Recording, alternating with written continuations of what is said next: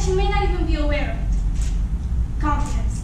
Now, I'm not walking dictionary to tell you that confidence is, and then insert a, of, insert a bunch of random words that have nothing to do with you personally. That's because nobody can give you a definition for confidence.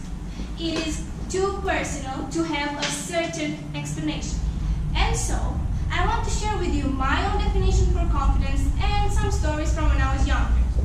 The point of my presentation is to help you find, and mostly important, encourage you to embrace your confidence. So here we go. You know how little children can be cute, uh, funny, adorable, and sweet?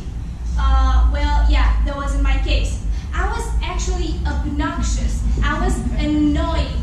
I was very loud and I'd cry a lot. Um, I was skinny and short-haired. Um, I used to be very keen on sports such as uh, football and I'd even play with the boys in the schoolyard. And most of the most of the days I'd wear my cousin's clothes. Long story short, I grew up being self-conscious because I was aware of the fact that I wasn't a typical girl. I was a tomboy. But things took a turn in my prom day. To begin with, me and my girlfriends had a row and my mom wasn't around either because she was working. So when I got my dress, my makeup and my hair done, I was all by myself. In that day, I stood in front of the mirror and I took a look at it. And I told myself, I'm beautiful. Besides this moment, something else happened when me and my partner were slow dancing. Um, he asked me if I wanted to be his girlfriend. Oh, romantic and movie-like, but I had to refuse. Of course, he was frustrated and he asked me, why? You don't have a boyfriend, I don't have a girlfriend, let's do something about it. And I just waited a second and I answered him and myself, what if I just don't want a boyfriend? What if I don't want to be your girlfriend? What if I want to concentrate on myself?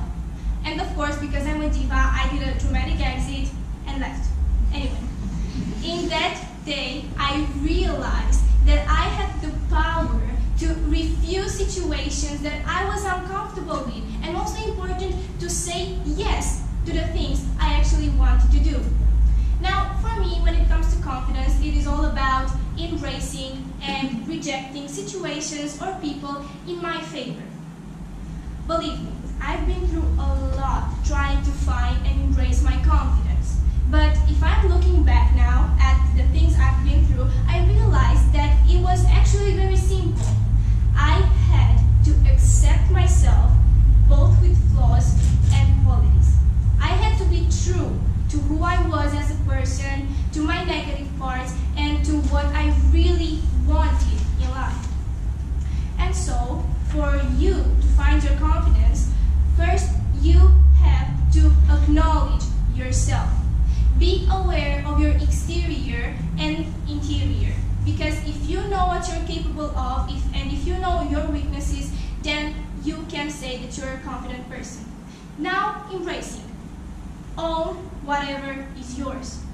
If, either if it's a quality or flaw, it is yours, it comes from you, this is who you are, and you have to embrace it and put it out there. Because we have the tendency to believe that whenever some, whenever we have a negative part, a, a negative part about ourselves, we want to push it away because we think it's not normal. But guess what? You're just like anybody else because anybody else has qualities and flaws.